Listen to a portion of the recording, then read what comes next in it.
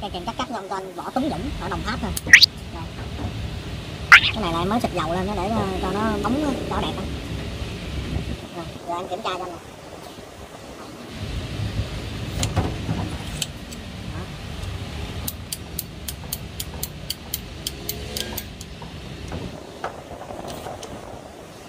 khi mà mình muốn uh, mình muốn uh, di chuyển cái cái lưỡi á, thì mình lái con uh, cái chốt này lên nè đá cái chốt này lên. Thì khi đó cái chốt này nó sẽ không có đá đụng đụng vô cái răng ở đây nè. Nó sẽ mình sẽ có thể xoay nó được ha còn khi mình cắt tức là nó phải vô răng. Vô vô cái răng ở trong đây nè. Nó phải ít nhất nó phải vô khoảng một một hai răng là nó mới cắt được. Giống như như vậy là nó chưa mình chưa cắt được ha. Mình phải đá nó, nó vô răng nó cho cái cặp ra. Đó. Một hai răng là mình mới cắt được. Đó.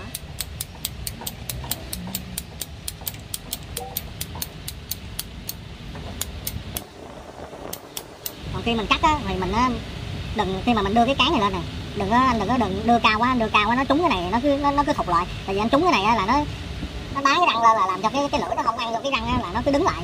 Nên nhiều người, người ta cứ đứng mạnh lên như nè nhưng mà thật sự là mình chỉ đến đây thôi là nó đã đi rồi chứ đừng có đá mạnh như vậy nè. Đá mạnh như vậy là là, là không được.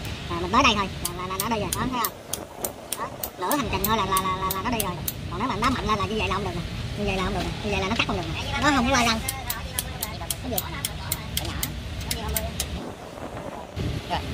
Đó, giống như giờ nó ờ, con trâu kéo ngược lại thì đá cái này rồi còn cái này nó đã đi qua hết răng rồi nè rồi mình cứ có thể mình quay ra lại ha ví dụ giống như là mình đang đi giữa đường. Đó, mình đang đi giữa đường ha. Mà mình muốn quay ngược lại, đó, mình đá vô cái ờ, con- ờ, cái chốt này cho nó đá lên. Đó rồi mình có thể mình xoay lại thấy không Rồi.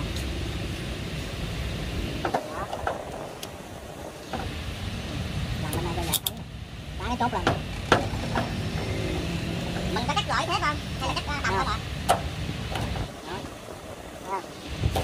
bạn vô răng là đi rồi đúng không vô răng là đi rồi tại vì ông đang tìm tép đây ông cắt lõi cắt lõi tép thì nó mắc hơn lưỡi mẹ tầm không cắt lõi cái tầm này nó rẻ hơn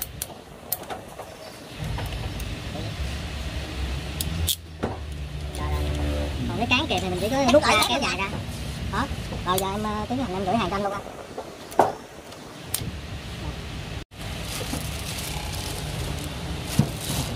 Rồi, đóng lại cho anh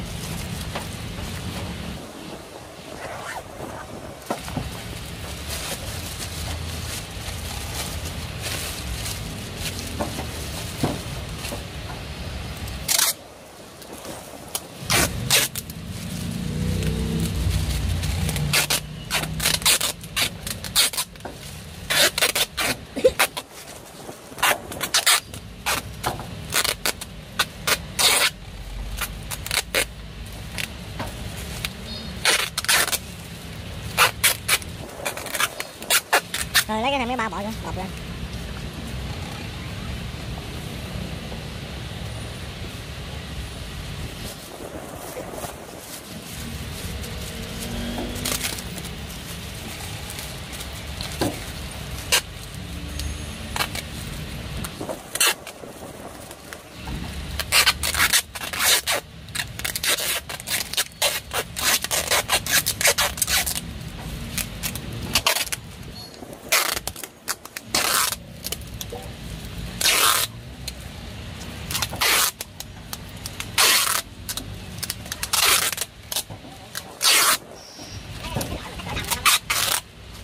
Sao? Cái lõi đồng không á? Lõi đồng nữa hả? Rồi đợi chút.